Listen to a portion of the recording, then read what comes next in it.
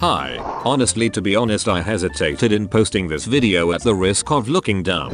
But then I reminded myself I'm a smart woman who just so happens to lack cooking knowledge. With that being said, I hope you enjoy me being a dumb bitch in the kitchen.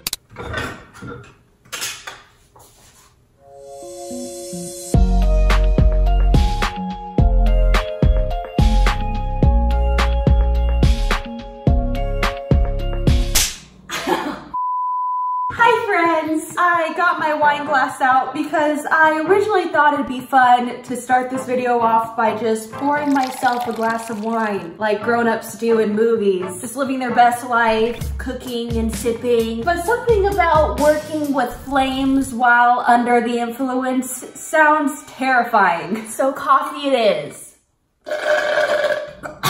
Little shard of ice just shot back in my throat. Anyways, this evening I'm going to cook myself a full-blown meal for the first time ever. Sadly this isn't clickbait. Let's just say I am quite acquainted with this area of my kitchen, or of course this area. But this beautiful lady right here, I just look at her and I ask myself, who is she? I do have to get it off my chest that back in the day, I made a mean grilled cheese. I would blow people's I don't know where I was going with that sentence. I even recall my non-religious friend saying that it gave her a religious experience. And it was my mom's favorite food of all time. She, she always wanted me to make her my grilled cheese. But then I cut dairy out of my life, so there goes my resume and my clout in the cooking world. Gordon Ramsay lost my number, but have no fear because for Christmas, my best friend Taryn, who's a mom and cooks and is just really advanced in areas that I am not, she got me this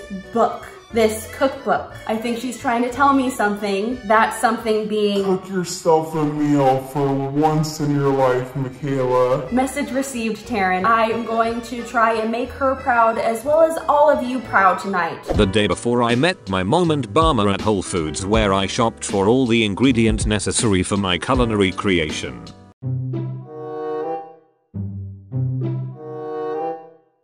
Your heart supposed to pound in a grocery store?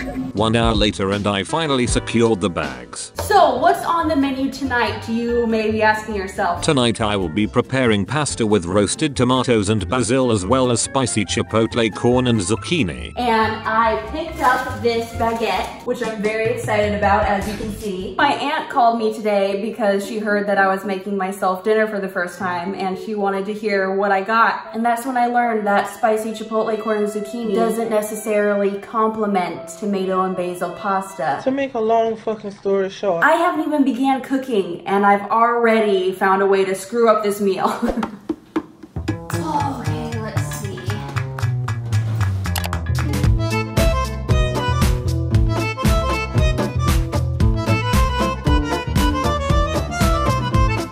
Line a baking sheet with parchment I don't have parchment paper. Who has parchment paper? You probably have parchment paper. Parchment paper. I mean, do people just have papers of parchment in their home? How do I turn on the oven? Start. the oven's on, we're making moves. Okay, I just gave the tomatoes a bath. Toss the tomatoes in one tablespoon of olive oil.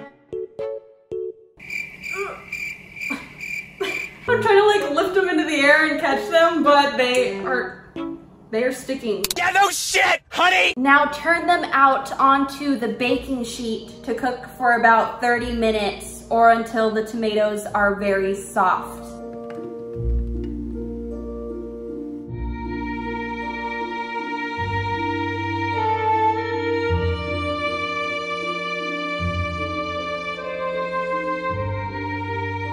add garlic and cook for the oven is ready, but I am not. Here's my zucchini. It has this really fun shape that exudes big dick energy.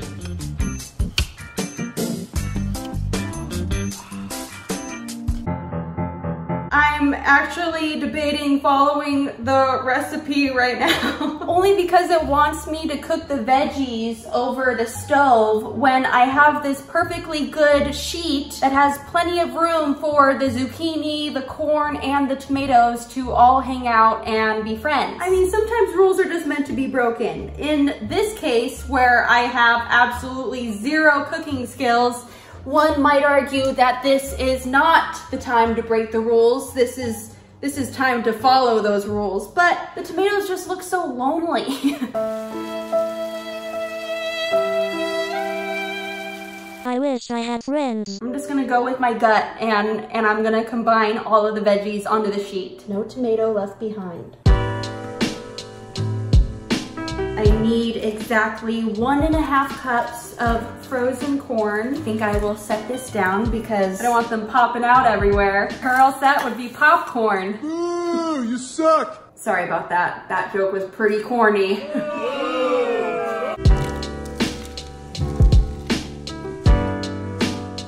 Now it's up to me to mash up one clove of garlic. Nobody told me how to accomplish this, so it is up to me and my two brain cells to figure it out. Good thing I'm a natural at this sort of thing. It just really comes easily to me. This is where I thrive. I think my strategy will be to just cut it up in the tiniest little pieces I can and then cut those pieces into even tinier pieces and then eventually the pieces will be so tiny that it's considered a mash. It's the monster mash. The monster mash!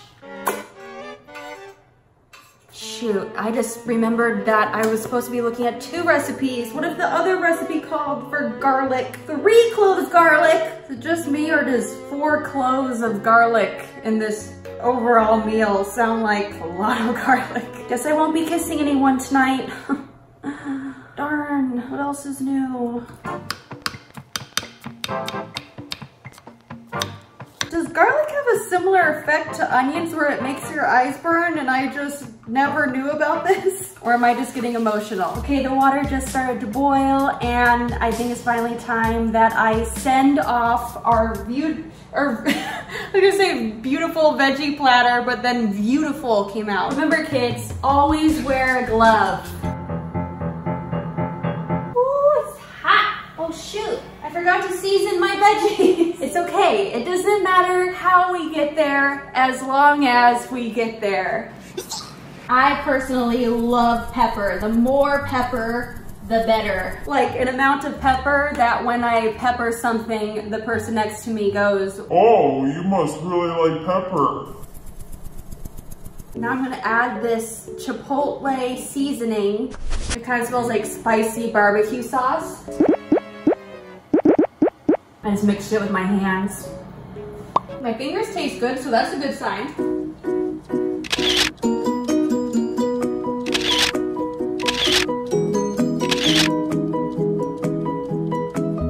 11.40 p.m. We're just gonna ignore that. But the tomatoes are supposed to take around 30 minutes in the oven. Oh, I should set a timer. Looks like our water is just beginning to boil. This is going so well. Okay, where are my nudes? My favorite type of pasta is angel hair, but I wanted to switch it up with some penne because I thought it would look pretty.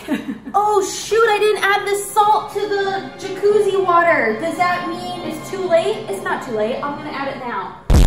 Ow, shoot, the heat from the oven made it really hot. What am I even looking for? I forgot. What was I doing? Oh, salt. It says add a generous amount of salt and to imagine it like ocean water salty. What am I, a mermaid? How am I supposed to know what amount of salt makes it ocean water salt? My mother has been laughing for 5 minutes at this clip so I think I may have used a tad too much salt. This is the salt version of the 2 shots of vodka vine. Two shots of vodka. This should be good. So I am to wait 10 to 12 minutes. So wait, am I just chilling right now? I have nothing to do for the next 10 minutes? Oh, cooking is stressful. I think once you get to a certain skill level, this could be relaxing, but what can I say? It's scary having your first time, especially on camera. My break was short-lived because I figured I should probably start putting food away that I am done using. You know me, just always thinking ahead. I Shut the fuck up. Ouch. I just did it again. Ouch.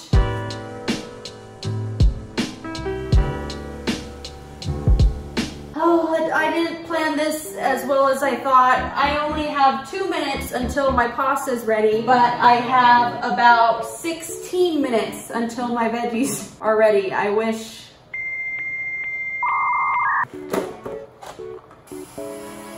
Ah, time to take out my pasta. I was giving my basil a bath, but that will have to wait. All right, noodles, it's showtime. Setting aside three fourths of a cup of pasta water before draining. I don't dunk this into this hot pot, do I? That doesn't make, that sounds dangerous. I'm gonna, I don't know what I'm gonna do. Oh, there's my drainer. Ah! I'm just gonna put this into the sink, and then when I drain my pasta, it will catch a cup of the pasta water. Ha ha! I'm a genius. Are you sure about that? My half cup of pasta water. Here's my pasta.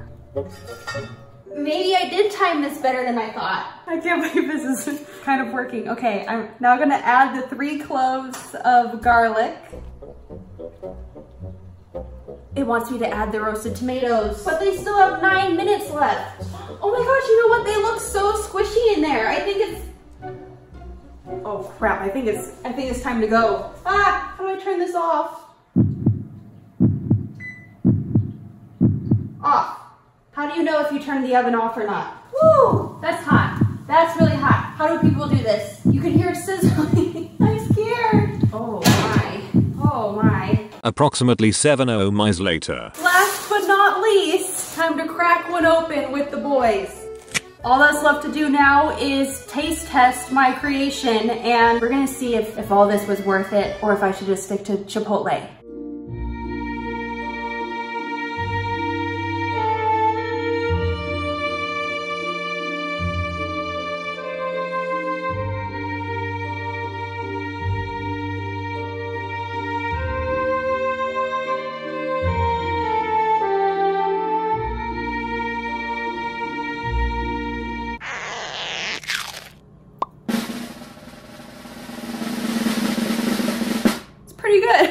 Tasting the saltiness, but also the tang of the tomatoes. Nothing like eating at 12.35 a.m.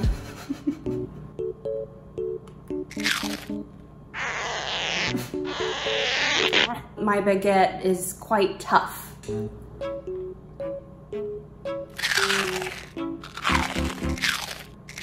Got just a little bit of the chipotle seasoning on my finger and it was like an explosion of flavors. So I thought that that's what this was going to be. But surprisingly, it's quite mild. I'm gonna go back to the pasta now to see if my zucchini corn puts my pasta into perspective. Wow, that's some salty pasta.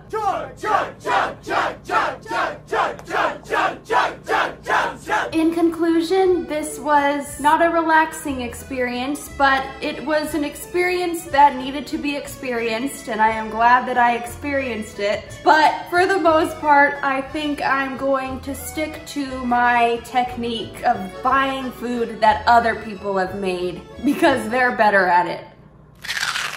How's it tasting? I'd give it an eh out of 10.